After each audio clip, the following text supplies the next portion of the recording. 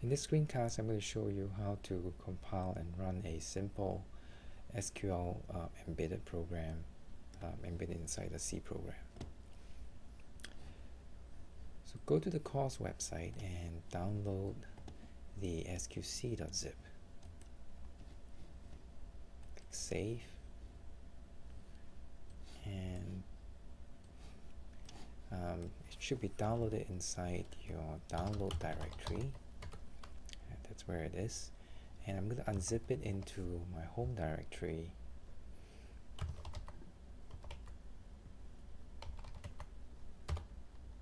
And so now my home directory has a um, has a SQC right here. Um, go inside SQC you see that I've included the uh, include files for um, DB2 uh, because they are not shipped with Express-C by default these days. Um, you will need that. Um, there's a README file that tells you uh, the compilation steps. Okay, um, but first uh, we need to change the database name and so on.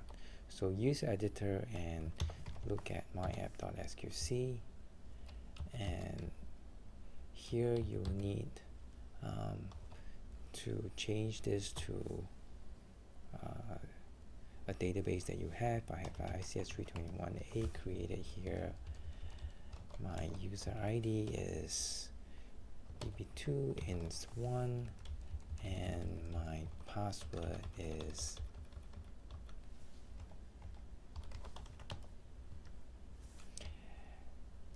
and next note that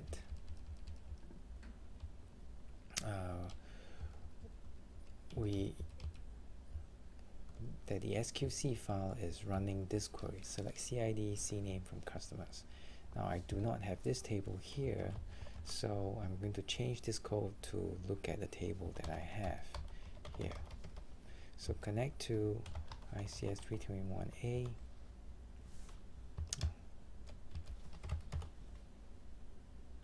And you can do a DB2 list tables. And I'm going to run it on the product table. You can use the describe command to look at the schema.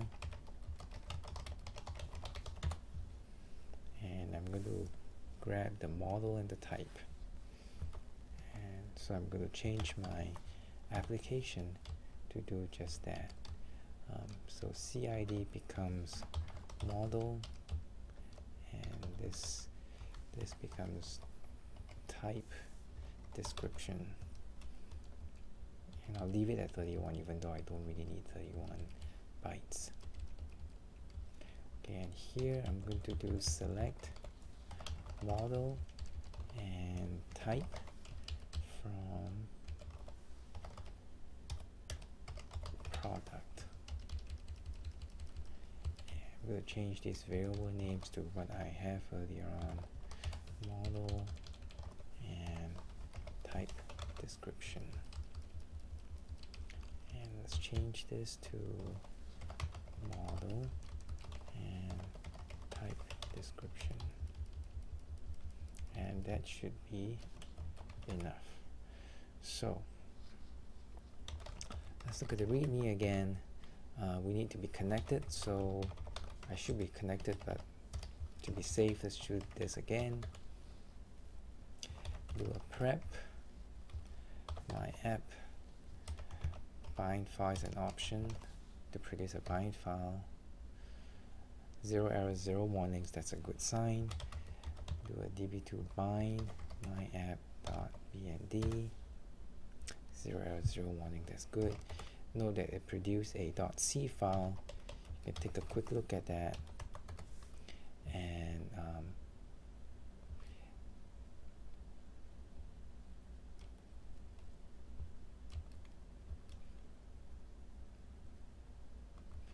see that it's it's it's translated the calls into um, some low-level calls.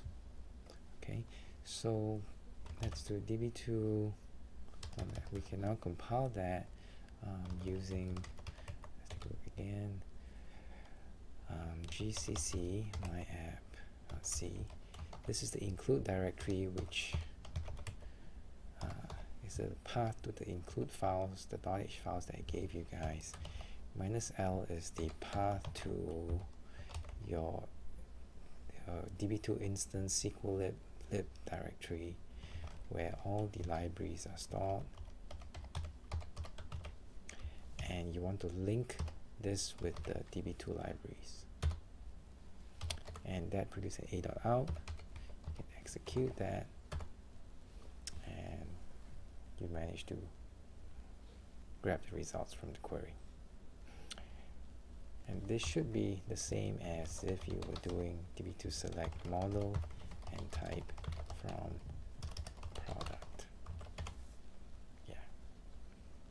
So that's how you compile and run a um, SQL embedded in C program or SQC program